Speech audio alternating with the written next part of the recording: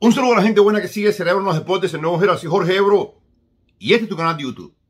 Bueno, señores, Mike Tyson ha tomado partido.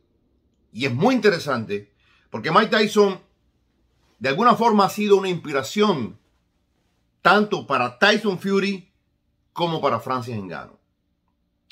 Mike Tyson va a estar en esquina de Ngannou, va a dirigir en parte los entrenamientos y sin duda será una figura importante en el campamento de el Predator.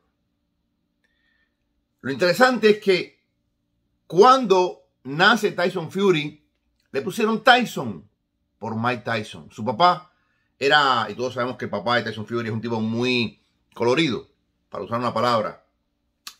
Él admiraba tanto a Tyson que a su hijo le puso Tyson Fury. Pero Engano es similar. Cuando Engano trabajaba en Camerún, en las minas, y era un joven adolescente que soñaba con ser alguien en la vida, su ídolo era Mike Tyson. Nunca pensó en ese momento Francis Engano que iba a ser campeón del mundo de artes marciales mixtas. Nunca pensó ni siquiera que iba a pelear en artes marciales mixtas. Él desconocía, dicho por él mismo, lo que eran las artes marciales en ese momento. Él solo pensaba en boxeo, boxeo, boxeo y be like Mike, ser como Mike Tyson.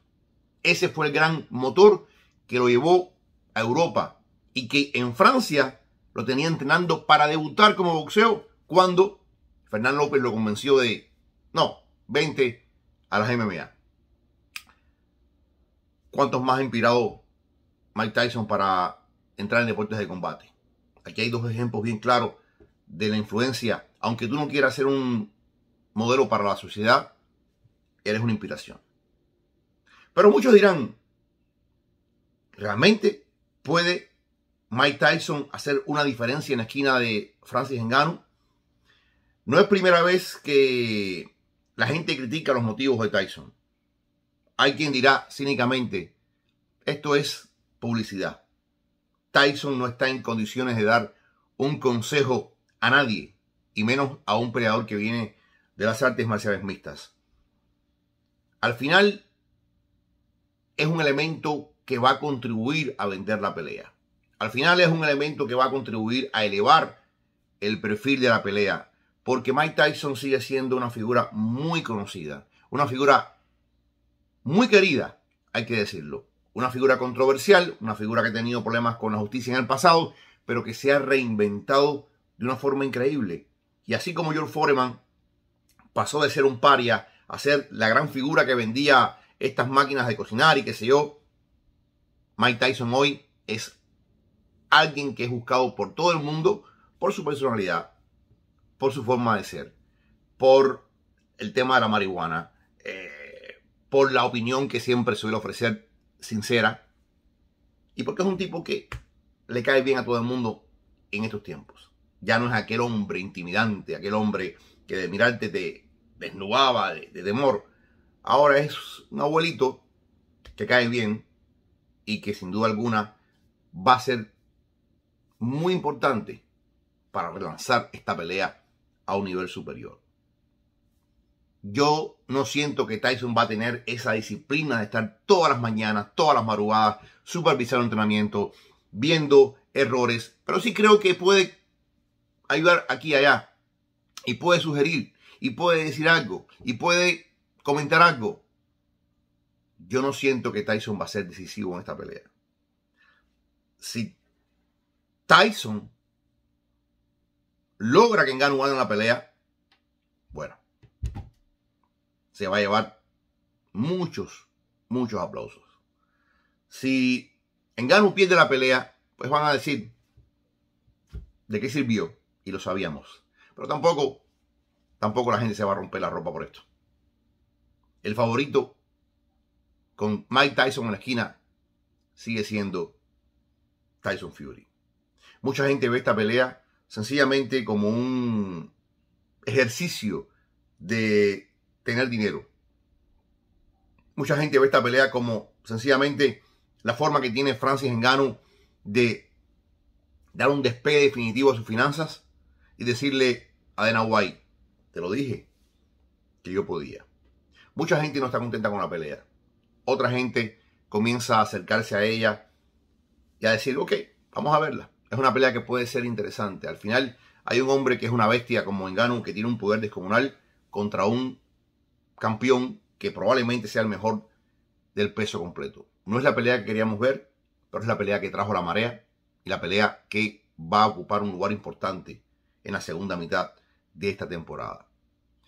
Mike Tyson piensa unirse lo antes posible al equipo de Engano. Yo me imagino que Engano va a tener otras figuras en su equipo. Creo que Engano va a tener otras personas que puedan ayudarlo a, a crecer como boxeador. Pero el hecho de ver Engano arriba y abajo con Mike Tyson a su lado va a ser un elemento muy importante. Un elemento que sin duda va a hacer que muchos fanáticos casuales vayan a ver esta pelea.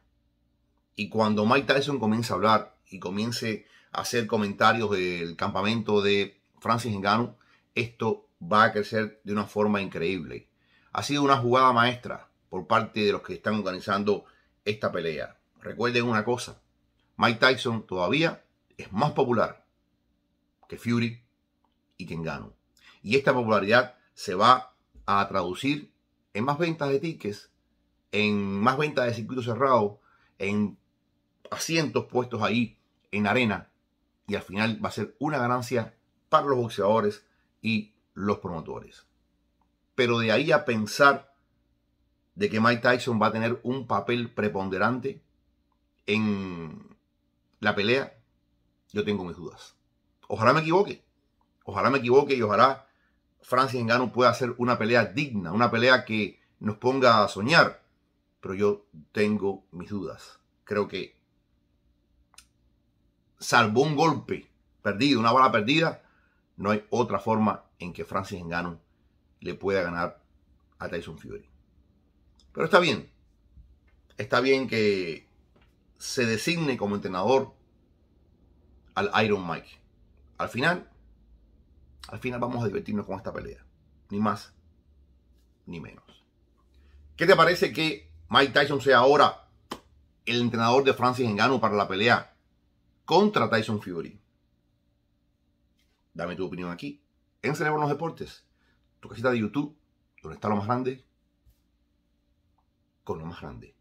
Muchas bendiciones y muchos likes. Si te gustó, ayúdame a crecer, comparte el canal, di que existo.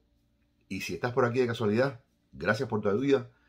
Suscríbete, activa la campanita y ya eres parte de la familia.